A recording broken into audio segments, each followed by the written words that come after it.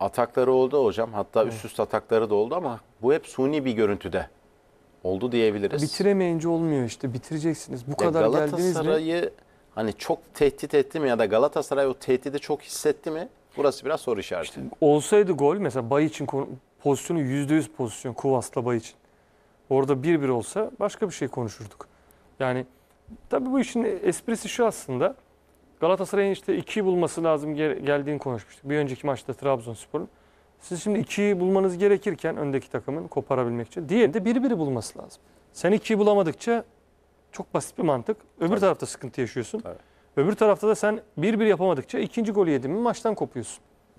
Yara alıyorsun. Bir de moralmen de göçüyorsun.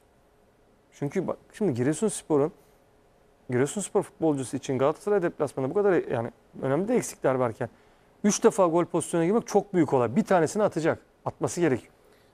Bu arada üst üste çalımlar yerde kaldı sanıyorum Borja Sainz ve karar faul. Sainz yerde. Sergio Oliveira faul yaptı ama orta yuvarlakta. Yani çok tehlike arz içeren bir noktada o serbest vuruşu kazanmadı. Giresunspor ayak dışıyla iyi pas Alper'e. Alper yaptı ortayı Muslera çıkmadı. Kafa savunmadan bir kez daha Alper'e geldi. Sainz pas istedi. Bora Sainz ceza sahasında Sainz vurdu savunmaya çarpan top. Sasha Boye dokunuşu yaptı. Top dışarıya gitti. Alper tacı kullandı. Giresunspor orta şansı arayacak ama Kuvas köşeye sıkıştı Alper. İyi pas ceza sahasına.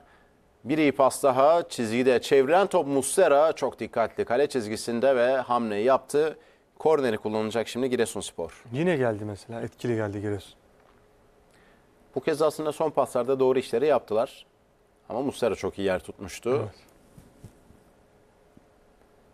Alper'den orta geldi. Kafa vuruşu top dışarıda. Bir korner daha. Son temas Saşa Boye'den. Dakika 75. Artık son çeyrek dilimin içerisindeyiz. Giresun'da Giresunspor'un baskısı. Tabii Giresunspor bir an önce bir gol bulup Evet. maçı daha başka bir hale getirme çabasında Alper. Yine ön direğe doğru Saşa Boya karşıladı. Kuvas kontrolü sağlayamadı. En geride Hayrullah var. Hayrullah'tan pas. Sağ kanada açıldı top. Serginho topu oyunda tuttu çizgide. Serginho ilerledi. Pasını aktardı. Ceza sahasında tehlike. Top çevrildi. Dokunuş gelmedi. Arka bölümde Borja Sainz. Top onunla kaldı. Sainz çizgide çalıma gitti ama Sasha Boye geçilmedi ki Sainz'ın da çok zor bir alanda çalım denediğini söyleyelim.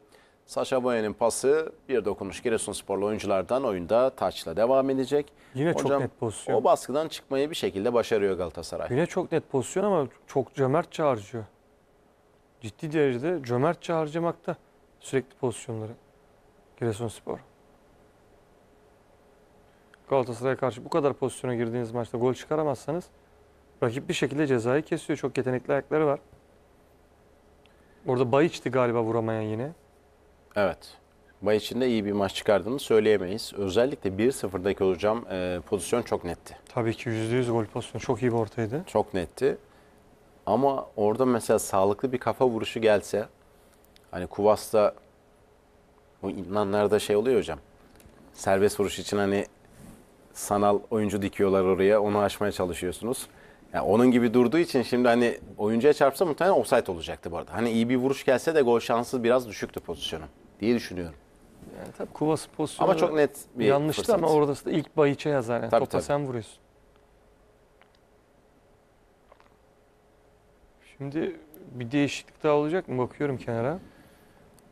Orada Dakika ciddi 77. derecede bir tribünlerin dolu olduğunu tekrar hatırlatalım. Hocam Giresun'da e, özellikle hani dört büyüklerle oynanan maçlarda ilgi çok. Onu Takımına, söyleyelim. şehrine, şehir takıma sahip çıkıyor. Hatta birçok maçta fena bir taraftar desteği yok Giresun'un. Alt ligdeyken de öyleydi. İyi bir taraftarı var açıkçası. Bir de yeni stat'tan sonra biraz daha değişti bence. Güzel bir stat. Yine Gayet büyük- güzel, konforlu. Evet. Ben de birkaç kere maç anlattım. Yani rahat bir stat. Maç izlemesi açısından da keyifli bir stat olduğunu söyleyelim. Emeği geçenleri tebrik etmek lazım. Önde baskı kuruyor bu arada. Biraz zemin dakikalar geçtikçe bozuldu. Farkında mısın bilmiyorum. Yani hani görün şey olur ya hocam bazen. Şimdi görüntü iyidir. Ama aldatır o görüntü. Yakın zoom'a girdiğinde Çünkü tabii çözüyoruz zaten. e, Uzaktan güzel yerden gözüküyor. giden ortalara ya da paslara dikkat ettiğin zaman topun çok fazla sektiğini görüyoruz. Uzaktan böyle temiz gözüküyor değil mi? Tabii. Ama derinlemesine baktığında bak çok iyi çıktılar. İşte çoğu insan gibi uzaktan iyi görünüyor. Yaklaşıyorsun. Beklediğim gibi birisi değilmiş diyorsun hocam. Maalesef. Şimdi Giresunspor serbest vuruşu kullanacak. Tabii dakikalar ilerliyor. Bu arada Görkem oyundan alındı. Murat Cem Akpınar oyuna dahil oldu. Dakika 78. Hocam baskısı var Giresunspor'un. Sanki Galatasaray biraz topu da Giresunspor'a bıraktı ama hani Giresunspor bu baskıyı çok çok net bir pozisyona dönüştürdü mü? Bunu söylemek kolay değil. Ya yine dönüştürdü bence ya. Yani orada Ya biraz şöyle farklı sanki düşünüyorum. Galatasaray o tehdidi az önce söylediğim gibi hiç hissetmiyormuş gibi. Yani ben bir hissediyorum buradan. oyun Nasıl hissetmiyorlar var. bilmiyorum. Ben de hissetmediklerini düşünüyorum hocam. Bu konuda biraz ayrıldık. Olabilir. Raşitsa ile geldi Galatasaray 3. gol şansı. Raşitsa vurdu. Savunmadan döndü. Yalnız bu da Ve Giresunspor savunması topu uzaklaştırdı. Karşı karşıya çok net bir şans. Net bir fırsat. %100 pozisyon. 3-0'a çok yakındı Galatasaray. Ee, o yerde oynadı var. Tekrar izleyeceğiz pozisyonu ama. Aslında e, Okan Buruk'un da hani Raşitsa'yı neden oyuna aldığına yönelik değil mi? En net e, bizlere gösteren pozisyonlardan Çok birisi. rahat Topu gitti. çok iyi çekti. Karşı karşıya pozisyonda vuruşunu yaptı ama Onurcan Ağır Piri kaldı biraz. kurtarışı yaptı.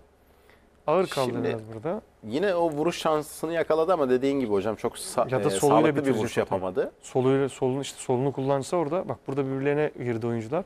Golün tekrarını ikinci Gerçekten golün. ilginç bir an. Çok kötü yani defaten izlenmesi lazım. İlginç bir an. Ama dediğim gibi hani ne olursa olsun hani Dubois'un öyle bir vuruşu vardı ki Icardi'nin de asisti var bu arada onu da söyleyeyim. 3 kişi arasından çıkıp onu da unutmayalım. Yine tabelaya etki etti. Çok önemli bir gol. Dubois'dan Galatasaray'ın baskı yediği anlarda farkı ikiye çıkardı. Ki dediğimiz gibi hani Galatasaray'a çok başka beklentiyle gelmiş. İlk 11'de yer alacağı hani çok net bir şekilde görülen bir isimdi. Ama ne güzel içini. Saşa Boyan'ın performansı işte hocam o çok önemli. Bir açıklama duymuyorsun. Bir huzursuzluk O bu kadar görmüyorsun. Oyuna giriyor, çıkıyor, sol bek oynuyor. Hiçbir şey yok. Ee, profesyonellik de bu. Kadir'in de arka adele attı. Evet. Faustin Sengor oyuna dahil oldu. Kadir kenarda Giresunspor'da. Son bölümde Sengor'u sağda göreceğiz. Tabii şimdi niye profesyonel oyuncu? Yani tamam futbolcular tabii ki daha farklı diğer profesyonellerden. Bu arada top kaybı yine. Top kaybı Icardi'ye doğru. Mauro Icardi top önüne alamadı. Top kalecide kaldı Onurcan'da. Onurcan eliyle topu oyuna soktu. Şimdi sol kanattan hızlı bir şekilde gelmeye çalışıyor Giresunspor. Alper sağdaki boşluğu gördü. İyi pas. Ters bir dokunuş. Top kornere gitti. Barış'tan da çok iyi bir savunma koşusu geldi ve hamleyi yaptı Barış Alper Yılmaz. Gerçekten çok iyi geldi yardıma. Bekine ve oradaki pozisyona hemen araya girdi. Büyümeden engellemiş oldu. Ama Giresunspor her hattıyla tehdit oluşturuyor bence. Ben Giresunspor'un performansını beğendim. Bitiremediler sadece. Bitirseler daha farklı şeyleri konuşuyor olabilirdik. Galatasaray'a bakalım iyi çıkabilecek mi şimdi? Dörde bir Bu yakalayacak. dakikalarda oyundan fazlasıyla düşen bir Giresunspor var. Sol kanada bir pas. Galatasaray etkili geldi.